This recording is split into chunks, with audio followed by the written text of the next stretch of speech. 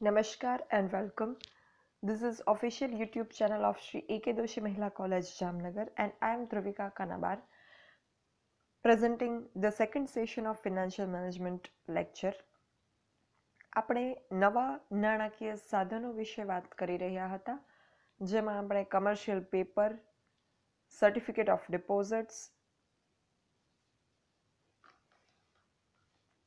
securitisation of ડેપ્ટ secured premium notes with detachable warrants આ બધા topic ઉપર વાત કરી. હવે આ સેશનમાં આપણે ડિસ્કસ કરવાના છીએ non convertible debentures with detachable equity warrants પહેલું હતું જે આગળ ડિસ્કસ કર્યું, એ હતું secured premium notes with detachable warrants SPNs secured premium notes હતું. આ શું છે?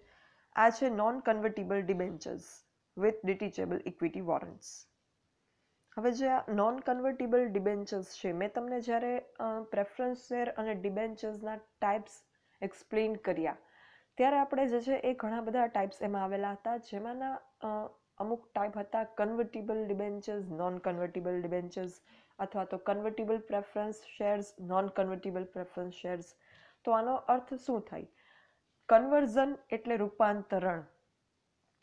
યસ આમાં પણ જે છે એ ખાસ વર્ડ અને એના સ્પેલિંગ ઉપર ધ્યાન આપજો. કન્વર્ઝન એટલે રૂપાંતરણ. કન્વર્ઝેશન એટલે થાય આપણે જે વાતચીત કરીએ, ચર્ચા કરીએ, એ. કન્વર્ઝેશન નથી કહેતી કન્વર્ઝન કહું છું. કન્વર્ઝન મીન્સ કે રૂપાંતરણ. કન્વર્ઝેશન એટલે વાતચીત. તો કન્વર્ઝન એટલે રૂપાંતરણ અને કન્વર્ઝન ઉપરથી વર્ડ છે કન્વર્ટ કન્વર્ટ એટલે રૂપાંતર કરવું. ટુ કન્વર્ટ વર્બ છે.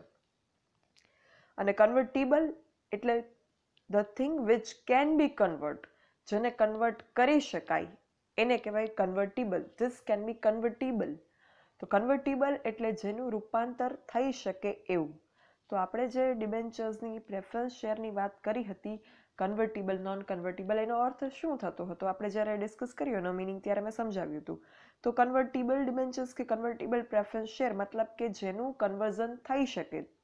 Which can be converted into equity એને આપણે કહેતા આ કન્વર્ટિબલ છે અને જે ન થઈ શકે કન્વર્ટ જેનું કન્વર્ઝન ન થઈ શકે, એને કહેતા કે this can not be converted મતલબ ધીસ ઇઝ નોન કન્વર્ટેબલ તો અહીંયા વાત કરીએ છીએ આપણે non convertible debentures with detachable equity warrants detachable એટલે અલગ પાડી શકાય છે ને. એવા ઇક્વિટી વોરન્ટ્સ આવે છે કેની સાથે? નોન કન્વર્ટેબલ ડિબેન્ચર્સની સાથે. અને શોર્ટ ફોર્મમાં આ નોન કન્વર્ટેબલ ડિબેન્ચર્સને એનસીડી કહેવામાં આવે છે, જેમાં આપણે અગાઉના ટોપિક સિક્યોર્ડ પ્રીમિયમ નોટ્સમાં એને એસપીએન્સ કહેતા હતા. સેમ વે અહીંયા નોન કન્વર્ટેબલ ડિબેન્ચર્સને આપણે કહીએ છીએ એનસીડી તો આ જે એનસીડી છે નોન કન્વર્ટેબલ ડિબેન્ચર્સ છે, એ ધરાવનારને કંપનીએ નક્કી કરેલ ચોક્કસ સમયગાળા દરમિયાન નક્કી કરેલ કિંમતના, નક્કી કરેલ સંખ્યાના શેર ખરીદવાનો વિકલ્પ મળે છે. નોન કન્વર્ટેબલ ડિબેન્ચર્સ જે છે એની સાથેનું જે વોરંટ છે, એ નોન કન્વર્ટેબલ ડિબેન્ચર્સની પૂરી કિંમત જેટલી જ રકમની કિંમતનું બહાર પાડવામાં આવે છે.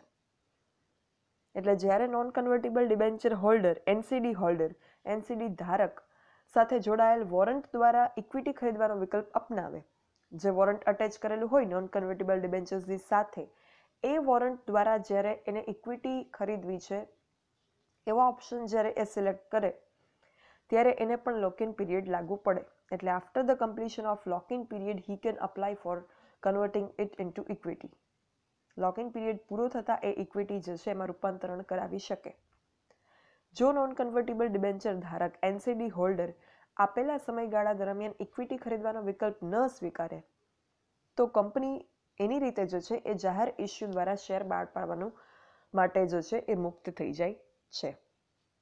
આ રીતે એનસીડી જે છે એ વર્ક કરે છે. અહીંયા એનસીડી હોલ્ડરને ઇક્વિટી પરચેસ કરવાનો after the completion of locking period equity ખરીદવાનો જે છે એ ઓપ્શન મળે છે.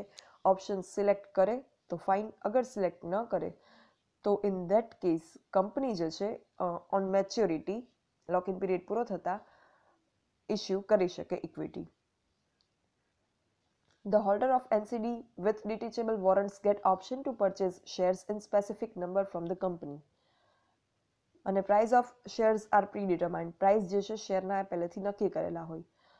અને લોકિન પીરિયડની જો વાત કરીએ કે કેટલો હોય મેચ્યોરિટી પીરિયડ એનસીડીઝનો તો generally NCDs are issued for the period of five years પાંચ વર્ષનો જનરલી લોક ઇન પીરિયડ હોય છે.